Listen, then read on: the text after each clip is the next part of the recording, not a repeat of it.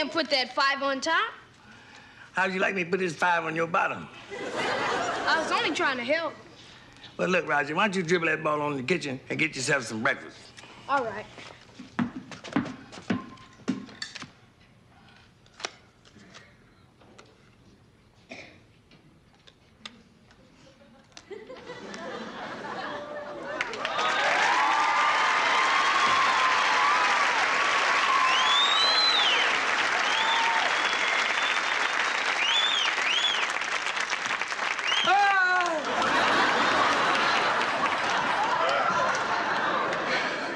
I just came over to help you stay awake, you old fish-eyed fool. Well,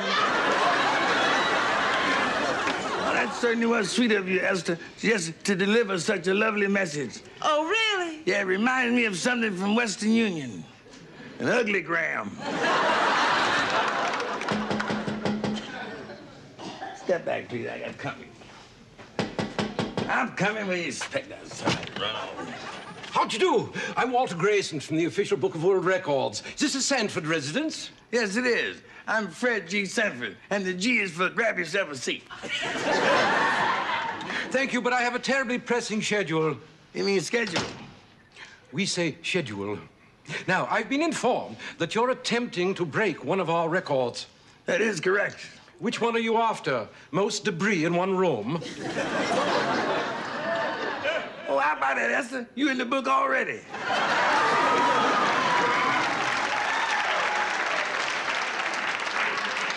Why don't you try for the lollipop record, All Day Sucker?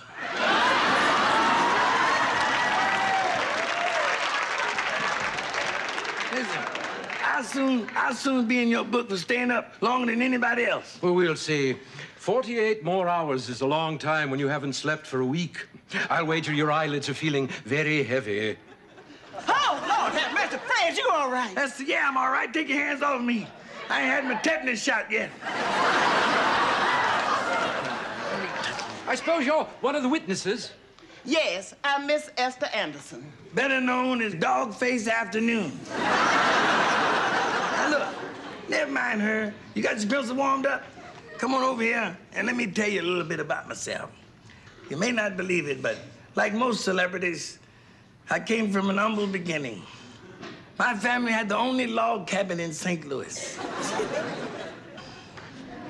And I suppose your schedule called for you to walk five miles to school every day. You mean shul, don't you?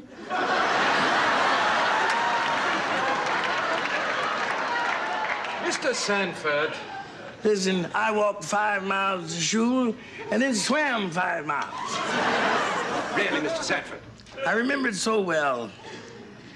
At the time, I was sharing a bed with my youngest brother, Jerome.